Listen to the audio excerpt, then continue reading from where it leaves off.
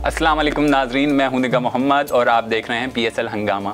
इस पीएसएल की ख़ास बात यह है कि ये पूरा का पूरा पाकिस्तान में खेला जा रहा है और इस पीएसएल में छः टीमें हैं। आज हम बात करेंगे टीम कोयटा पर। टीम कोयटा का एक फैक्ट ये है कि ये इसका विनिंग रेशो जो है, वो वो बहुत ज़्यादा है। आज हम वाजिद अली हमारे साथ मौजूद हैं, इनसे बात करेंगे इनके विनिंग का राज क्या है। वाजिद साहब अस्सलाम वालेकुम। वालेकुम अस्सलाम। ज़रा बताएँ ये टीम कोयटा का विनिंग का राज क्या है? टीम कोयटा की विनिंग का राज ये है कि जो उनकी मैनेजमेंट है सबसे बड़ा रोल उनका है। कोई भी टीम जब खेलती है तो उसकी मैनेजमेंट का बड़ा रोल होता है टीम चलाने में। तो उसका क्रेडिट मोइन खान को जाता है जो चार पीएसएल से कोयटा ग्लिएटर के साथ हैं। उसकी वजह यह है कि वो प्लेयर बहुत अच्छे पिक करते हैं प्लेयर को जो रोल देते हैं वो उस पर उस पर पूरा काम करते हैं। जिससे प्लेयर रिलैक्स होकर खेलते हैं और वो माइंड सेट जानते हैं प्लेयरों का प्लेयरों को क्या करना है।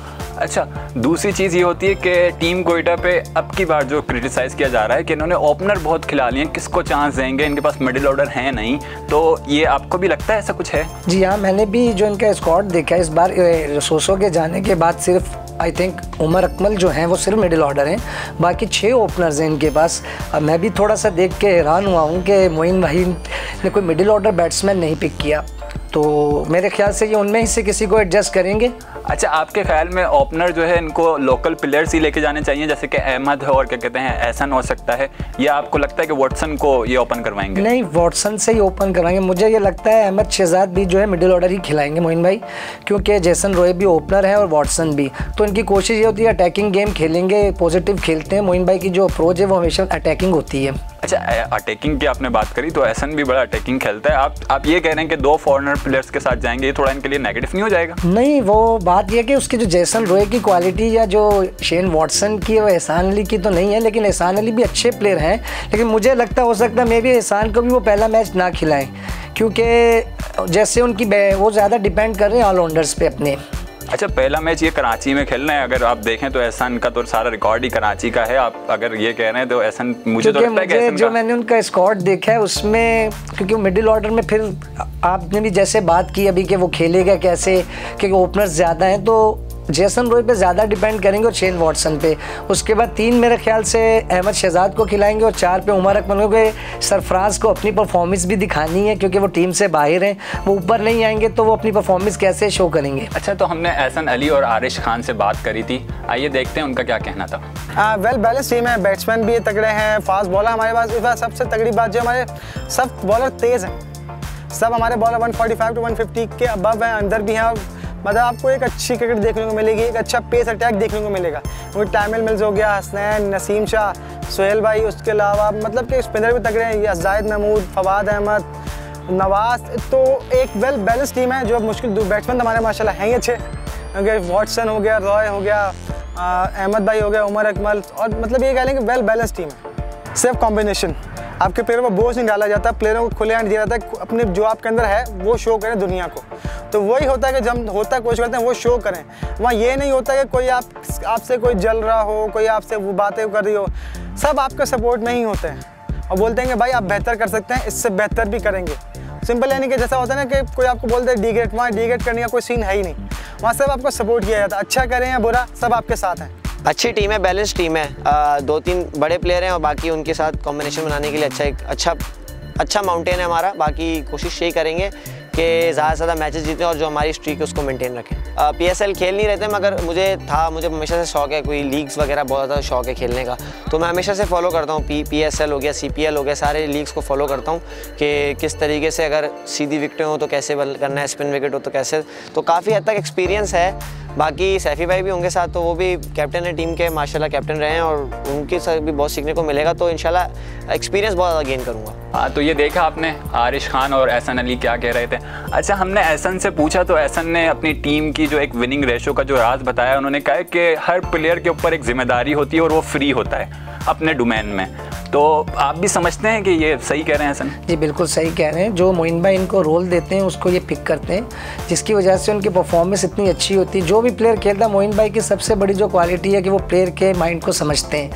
उसको उसी हिसाब से रोल देते हैं। जैसे किसी प्लेयर में हिटिंग का है वो तो उसको हिटिंग का टारगेट दिया जाता है। किसी प्लेयर में कि यार यहाँ जाके आपने स्टे करना अभी ऐसा खेलना तो जो रोल वो देते हैं मोइन भाई उसमें बहुत कॉन्फिडेंस देते हैं जिससे प्लेयरों को फ़ायदा होता है। अच्छा ये भी है कि मोइन भाई को पता होता है किस प्लेयर की क्या कैपेबिलिटी है क्योंकि हमने देखा था अहमद और क्या कहते हैं का उमर अकमल जो थे उनसे रन नहीं हो रहे थे पीएसएल में दूसरी फ्रेंचाइज के साथ जब वो खेल रहे थे। इधर आए हैं कोयटा के साथ तो वो रन करने लग गए हैं। ये मोइन भाई का ही है सारा ये सारा क्रेडिट मोइन भाई का कोई भी कोच जो होता है या कैप्टन वो आपसे परफॉर्म करवाता है। क्योंकि वो आपको पिक करता है, वो आपको रोल बताता है, आपको कॉन्फिडेंस देता है। वो जिस फ्रेंचाइज में खेल लेते हैं, वहाँ वो इतने कॉन्फिडेंस से नहीं देते। हैं अहमद शहजाद फ़र्स्ट टाइम भी कोयटा के लिए एटर से खेले थे उसमें उनकी परफॉर्मेंस कितनी अच्छी थी। उसके बाद वो दोबारा रिटेन होकर कहीं दूसरी फ्रेंचाइज में गए तो वहाँ उन्होंने परफॉर्म नहीं किया। ऐसे ही उमर अकमल का सेम था।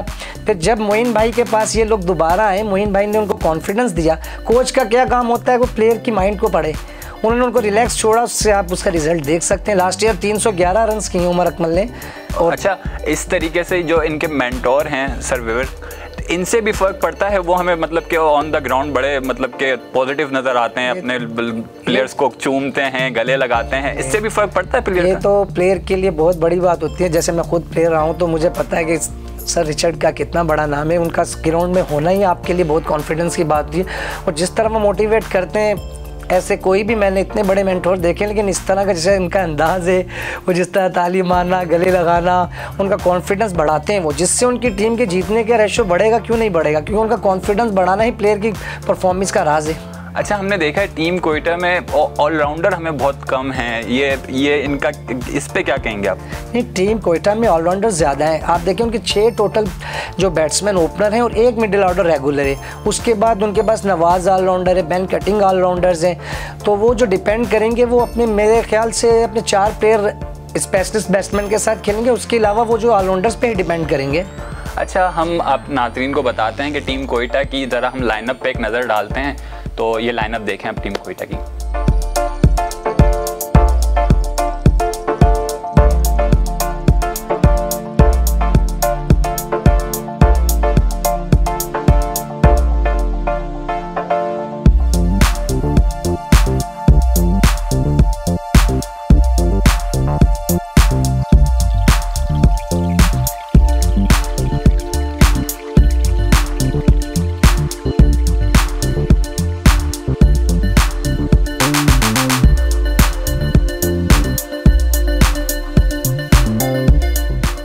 नाजरीन, टीम कोयटा के पास फास्ट बॉलर भी बहुत अच्छे हैं, जो कि पाकिस्तान का एक यंग खून है। नसीम शाह हैं, जिन्होंने अभी रिसेंटली टेस्ट मैच में हैट्रिक करी है, फिर उसके साथ हसनैन हैं और फिर उनके टाइम मिल्स हैं। ये तीनों बॉलर ऐसे हैं जो 145 प्लस करते हैं। तो डिस्कस करते हैं इनको भी। ये तीन फास्ट बॉलर जो हैं, ये इनकी बैकबोन साबित होंगे बॉलिंग की? जी, बिल्कुल। पाकिस्तान की जो पिचेज़ होती हैं, वो फ्लैट पिचेज़ होती हैं, उस पर फास्ट बॉलर का रोल बहुत ज़्यादा होता है, क्योंकि जब स्पिनर्स को मार पड़ती है तो फास्ट बॉलर ही मैच बचाते हैं। जिस टीम की फास्ट बॉलिंग अच्छी होगी वही इस टूर्नामेंट में कामयाब होगा, क्योंकि पाकिस्तान की जो पिचेज़ हैं, वो फ्लैट बहुत होते हैं। तो इनके पास इस दफ़ा इन्होंने सुहेल खान को भी पिक किया है। सुहेल खान एक एक्सपीरियंस जो है फास्ट बॉलर हैं। उन्होंने अभी तक पीएसएल में चार पीएसएल में चौंतीस आउट किए हुए। तो मोइन भाई ने कोई भी चीज़ करते हैं मोइन भाई वो देख के ही करते हैं क्योंकि उनकी परफॉर्मेंस बहुत अच्छी है तो उनको बहुत फ़र्क पड़ेगा इस चीज़ से। अच्छा इंग्लैंड के जो क्या कहते हैं टाइम मिल्स हैं वो इनके लिए कितने इफ़ेक्टिव साबित होंगे? टाइम मिल्स बहुत इफ़ेक्टिव होंगे 115 टी ट्वेंटी मैचेस खेल चुके हैं जिसमें उनकी विकेट्स भी 115 हैं बहुत एक्सपीरियंस है। एक तो वो तेज़ बहुत हैं इंग्लैंड के टू फास्ट बॉलर्स में आते हैं जो 140 से ऊपर बॉल करते हैं। आर्चर के बाद जो है वो टाइम मिल्स हैं। तो मैंने उनके जो रिकॉर्ड देखा अभी तक उन्होंने उनको कोई इंटरनेशनल मैच नहीं खिलाया। उनके सिर्फ़ only five T twenty matches खेले हैं वो इंग्लैंड से। तो इससे अंदाज़ा लगा लें कि वो टी ट्वेंटी स्पेशलिस्ट हैं, उसका बहुत फ़र्क पड़ेगा। अच्छा इनके स्पिनर पे हम बात करें फवाद अहमद हैं और क्या कहते हैं मोहम्मद नवाज़ हैं तो ये दो सही हो जाएँगे इनके लिए कर लेंगे मतलब कि बचा लेंगे लंबे टारगेट को या छोटे टारगेट को ये दो देखिए अभी तक जो डोमिनेट कर रहे हैं स्पिनर में पूरे चार पीएसएल में नंबर वन पर है 43 आउट है नवाज़ के। तो नवाज़ बहुत एक्सपीरियंस है और सरफराज उस पर डिपेंड भी बहुत करते हैं, क्योंकि उन्होंने एक कई मैचेस ऐसे जितवाए हैं जो आप सोच भी नहीं रहे थे कि एक ओवर में तीन आउट कर दिए उन्होंने। उसके साथ फवाद बहुत एक्सपीरियंस हैं, वो भी पाकिस्तान से बिलोंग करते हैं, वहाँ जाके शिफ्ट हो गए तो खेलें, लेकिन जो उनको आइडिया यहाँ पे किस तरह की बॉलिंग करनी है, वो जानते हैं एक्सपीरियंस हैं। लेकिन यहाँ पे एक चीज़ जो होगी कि एक इमर्जिंग प्लेयर खिलाना लाजमी होता है PSL के एलेवन में। तो उसमें आरिश अली खान जो है, वो लेफ़्ट आर्म स्पिनर है। और दूसरे आज़म खान है। अब देखेंगे किसको पिक करके अच्छा, आप समझते हैं कि आरिश की जगह बनती है क्योंकि Mohammad Nawaz already left arm bowler हैं फिर आरिश भी हो जाएँगे दो एक जैसे खब्बे बॉलर खिलाएँगे तो लाइनअप में थोड़ा इफ़ेक्ट नहीं करेंगे? इफ़ेक्ट करेगा लेकिन ये तो डिपेंड करता है सरफेस कैसा खेल रहा है क्योंकि अभी शुरू में मैचेज होंगे पिच अच्छे होंगे फ्लैट पिचेज होंगे तो मे भी हो सकता है वो ना खिलाएँ आरिश को लेकिन मेरे ख्याल से आरिश को वो लाजमी खिलाएँगे क्योंकि आरिश ने अभी बहुत रिसेंटली अच्छी परफॉर्मेंस की बेस्ट बॉलर भी हुए हैं। अच्छा कराची के तकरीबन हर ग्राउंड से आप वाकिफ़ हैं और हर ग्राउंड में आपने मैच भी खेला पहला मैच भी कराची के नेशनल स्टेडियम पे है। तो वो पिच किसको सपोर्ट करेगी? बॉलर को बैट्समैन को? स्पिनर का कैसा रोल रहेगा उसमें? कराची की पिच हमेशा बैट्समैनों को सपोर्ट करती है। आप देखें लास्ट पीएसएल के जो फाइनल भी हुआ है, उसमें कितने अच्छे रन बने। बैटिंग पिच थे और कराची की विकेट हमेशा बैटिंग पिच होती है। तो इसमें रन ज़्यादा बनेंगे और फ्लैट पिचेज ही होती हैं कराची की। अच्छा इस पूरे पीएसएल में आप सरफराज को कैसा देख रहे हैं? उनकी कैप्टनसी को क्योंकि उनके ऊपर बहुत प्रेशर होगा वो नेशनल टीम से बाहर हो गए और तीनों फॉर्मेट से बाहर हो गए यही उनके पास एक मौका है कि वो टीम में वापसी कर सकते हैं। तो इसको कैसा देखते हैं आप? देखें सरफराज के लिए ये बहुत अच्छा मौका है और उनकी टीम के लिए इसका बेनिफिट बहुत ज़्यादा होगा क्योंकि वो टीम से बाहर हुए हैं वो अपनी परफॉर्मेंस से कोशिश करेंगे मैं टीम में भी आऊँ अपनी टीम को भी जतवाऊँ और अपनी परफॉर्मेंस भी करूँ। तो उनका जो ये पूरा कैरियर का है मेरी नज़र में। उनका ये पी उस कैरियर का बताएगा कि वो किस जगह पर खड़े हुए अच्छा आप नहीं समझते सरफराज, अगर टीम से बाहर हुए हैं तो वो अपनी कारकर्दगी की वजह से बाहर हुए हैं, क्योंकि उनकी परफॉर्मेंस उस लेवल की नहीं थी जो कि एक नेशनल प्लेयर की चाहिए होती है। हालाँकि इसी कंपेयर से अगर आप उसको देखें, कामरान अकमल को देखें तो वो आउटस्टैंडिंग विकेट कीपर है और रन भी बहुत करता है। देखें, आपकी बात, इस बात को मैं मानता हूँ, लेकिन टी ट्वेंटी में कामरान अकमल तो डिज़र्व करते हैं सरफराज के बाद। लेकिन सरफराज टी ट्वेंटी से बाहर नहीं होते थे, वनडे या उसमें उनकी परफॉर्मेंस नहीं थी टेस्ट में। आप उससे तो उनको बाहर करते हैं, लेकिन टी ट्वेंटी में वो डिज़र्व करते जब बट, अगर जब सरफराज डिज़र्व नहीं किया, आपने ड्रॉप कर दिया तो फिर कामरान अकमल का बंदा। कामरान अकमल पिछले पाँच साल से हर फॉर्मेट में परफॉर्म कर रहे हैं। वो डिज़र्व करते हैं, वो ऑस्ट्रेलियन पिचेस पे खेलने का जानते हैं, पाकिस्तान का कोई प्लेयर ऐसा नहीं है जो वहाँ पे इतनी अच्छी बैटिंग करता हूँ। आपकी इसकी मिसाल मैं इस तरह दे सकता हूँ कि एक लास्ट मैच जो वो ऑस्ट्रेलिया में खेले थे 128 पे पाकिस्तान की टीम आउट हुई थी तो कामरान अकमल ने उसमें 75 रन किए थे। उस एक ओवर में जो शॉन टैट थे, उन्होंने पाकिस्तान के काफ़ी बैट्समैनों को डरा दिया था। तो उसके बाद कामरान अकमल जिस तरह दिलेरी से बैटिंग की थी वो आपके सामने स्टैक बताते हैं। अच्छा कोयटा ग्लेटर्स की एक और क्या कहते हैं, जो कि बदकिस्मती है। लास्ट पीएसएल में हमने देखा था कराची किंग्स के खिलाफ एक मैच था उनका। पाँच बॉलों पर चार रन चाहिए थे। शहजाद जो हैं, वो 99 पे खड़े हुए थे। वो मैच हार गए, वहाँ से लोगों ने बहुत मतलब के क्रिटिसाइज़ किया था कोयटा को। ऐसी सिचुएशन में आके मतलब कि कोयटा को क्या हो जाता है? हमने अक्सर औकात देखा है। नहीं ऐसी बात तो नहीं है। वो बस ओवर कॉन्फिडेंस होके आ रहे थे वो मैच अदरवाइज़ कोयटा ने इसी तरह पिशावर जर्मी से मैच जीता था। तीन रन चाहिए थे तीन बॉलों पे नवाज़ ने दो आउट कर दिया तो आखिरी बॉल डॉट कर दिया था। तो ये तो नहीं आप कह सकते कि वो कोई प्रेशर लेते हैं। गेम में जो प्रेशर कम लेगा वो साथ का जो मुकाबला होता है वो आखिर में पता चला प्रेशर कौन झेल सकता है। तो अच्छा, कोयटा की टीम में यह है कि वो कर सकती है चीज़ें। अच्छा टी क्रिकेट को सिर्फ़ यही कहा जाता है कि ये बस छक्के जो होगी क्रिकेट है, इसमें सिंगल डबल का काम ही नहीं है। ऐसा सही है? नहीं, ये गलत बात है। सिचुएशन से गेम होता है। लास्ट टाइम आप 140 डिफेंड कर रहे होते हैं, उसमें आपके पाँच आउट हो जाते हैं तो फिर आपको उसको नॉर्मल खेलना पड़ता है। ये तो नहीं होता कि आप हर बॉल पर हिट करें। सिचुएशन पर डिपेंड करता है। लास्ट टाइम आप नॉर्मल खेलते हैं नॉर्मल खेलने के बाद जब आप सेट होते हैं तो फिर आप उस टारगेट को अचीव करते हैं चाहे वो 200 का हो या 140 का हो। अच्छा आप नहीं समझते मतलब कि नॉर्मल क्रिकेट में शायकीन बेचारे थोड़े मायूस हो जाते हैं कि बॉल उनके पास नहीं आ रही है छक्के नहीं लग रहे हैं चौके नहीं लग रहे का एक अपना वो होता है लेकिन जो टीम मैनेजमेंट रोल देती है वो तो रिज़ल्ट मांगते हैं तो वो फिर उसी हिसाब से खेलना पड़ता है जैसे सिचुएशन होती है। अच्छा पीएसएल में टीम मैनेजमेंट का क्या रोल होता है हर टीम के साथ क्या कहते हैं प्लेयर को एक जो आपने सुकून देना है वो अहम होता है या नहीं? बहुत ज़्यादा प्लेयर रिलैक्स नहीं होगा तो परफॉर्म कैसे? करेगा कोयटा क्रिएटर की जीत की वजह यही है कि मोइन भाई बहुत रिलैक्स देखते हैं प्लेयर को उनको कॉन्फिडेंस देते हैं उनके मैच के बाद कोई उन पर पाबंदियाँ नहीं है आप अपने इन्जॉयमेंट करें। हमारे यहाँ तो इतने इन्जॉयमेंट पर पाबंदी लगा देते ये नहीं जाना वहाँ नहीं जाना। तो मोइन भाई का जो रोल है वो बहुत बड़ा है। मैं आपको बार बार इस चीज़ को कहूँगा कि इस टीम की जीत का जो रेशो ज़्यादा है वो सिर्फ़ मोइन भाई इसके क्रेडिट के अच्छा ये जो ओवरऑल टीम कोयटा का स्कॉट है आप इससे सेटिस्फाई हैं? इन्होंने क्या कहते हैं इस दफ़ा अनवर को ड्रॉप किया है और डीजे ब्रावो इनकी टीम से आउट हुए हैं और भी बहुत से प्लेयर हैं। अनवर का मुझे समझ में नहीं आता, अनवर अली को क्यों बाहर किया है? क्योंकि वो तो कराची के हैं और हमारे नदीम उमर साहब के तो चहीते भी हैं कराची के प्लेयर तो इनको कैसे बाहर हो गए वो? आई थिंक मेरे ख्याल से वो वही जो उनका ऑपरेट हुआ था तो उसके बाद उसकी फिटनेस इशू ना हो अदरवाइज़ डिज़र्व करते हैं। फोर पी से वो कोयटा से खेले और किसी और फ्रेंचाइज से भी नहीं खेले और उनकी परफॉर्मेंस आपके सामने ही है। अच्छा लोग समझते हैं कि टीम कोयटा जो है वो कराची की टीम है, क्योंकि आधे से ज़्यादा प्लेयर उनके कराची के ही हैं।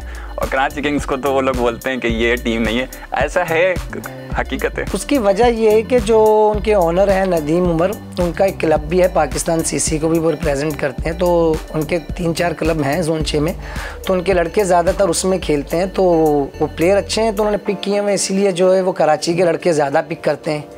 अच्छा इन पे जो हमारे दो फास्ट बॉलर हैं, यंगस्टर नसीम शाह और मोहम्मद हसनैन इनके लिए ये पीएसएल कैसा होगा? ये परफॉर्म करके ऊपर आ सकते हैं या इनके लिए ये पीएसएल में अगर ये परफॉर्म नहीं करेंगे? क्योंकि हमारी टीम नेशनल टीम के जो सिलेक्टर हैं, उन्होंने बोला जो परफॉर्म करेगा, वो ऊपर आएगा। तो आप क्या कहते हैं? ये तो बिल्कुल ठीक कहा लेकिन नसीम शाह अभी लास्ट मैच में भी अनफिट हो गए थे बॉलिंग करते हुए तो मेरे ख्याल से अभी वो शुरू के मैचेस भी नहीं खेले। हसनैन तो ऑलरेडी पाकिस्तान की टीम में खेले। रिसेंटली जो सीरीज़ हुई है बांग्लादेश उसमें बड़ी अच्छी बॉलिंग की है। तो वो तो हमारी टीम के मेन असासा हैं इस टाइम क्योंकि सबसे तेज़ बॉलर हैं हसनैन और नसीम शाह। अच्छा और इसी तरीके से स्पिनर अगर मोहम्मद नवाज़ की हम बात करें तो वो क्या कहते हैं हिटिंग भी अच्छी करते हैं। आप नहीं समझते मोहम्मद नवाज़ को भी जैसे कि नारायण को एक रोल दिया जाता था कभी कभार वो वन डाउन आ जाते थे और हिट करने लग जाते थे। मोहम्मद नवाज़ से भी ये रोल लिया जा सकता है? उनमें बहुत एबिलिटी है उन्होंने परफॉर्म करके दिया कोयटा को और वो इस चीज़ को कर सकते हैं। तो नाजरीन ये था हमारा आज का शो हमने टीम कोयटा पर बात करी। अब से नेक्स्ट शो में फिर मुलाकात होती है फिर किसी टीम पे बात करेंगे। जब तक के लिए अल्लाह हाफ़